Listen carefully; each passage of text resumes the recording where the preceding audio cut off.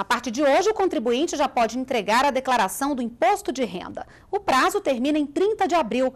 Até agora, a Receita Federal já recebeu mais de 208 mil declarações. Segundo a Receita, estão obrigadas a apresentar a declaração as pessoas físicas que receberam rendimentos tributáveis acima de R$ 23.499,15 em 2011.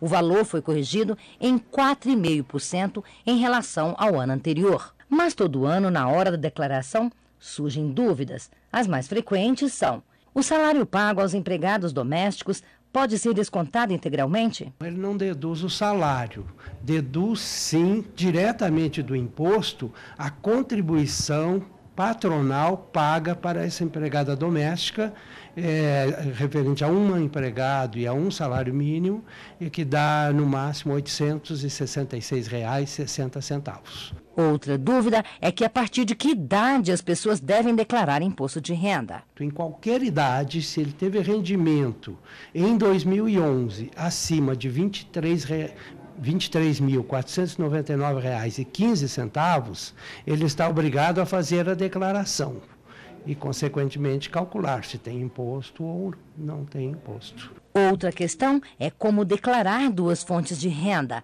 Segundo especialistas, esse é um dos principais erros que podem resultar na malha fina. Para evitar a malha fina, ele tem que dar a informação correta, porque ocorre que algumas pessoas ficam com a declaração retida na malha. Nesses casos, é porque ele acaba não informando a segunda fonte, às vezes por um rendimento pequeno, mas essas informações chegam à Receita Federal e, se ele não incluir, acaba tendo essa declaração retida na malha. A contadora Darlene Lunelli todo ano faz cerca de 200 declarações de imposto de renda. Hoje eu já tenho 10 declarações para entregar.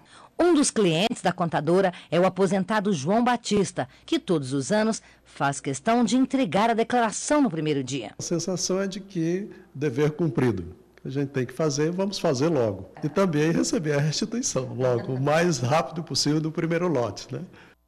A expectativa da Receita Federal é receber 25 milhões de declarações. O primeiro lote de restituições deve sair no dia 15 de junho.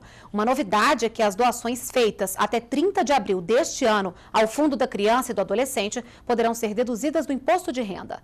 Todos os detalhes estão no site da Receita.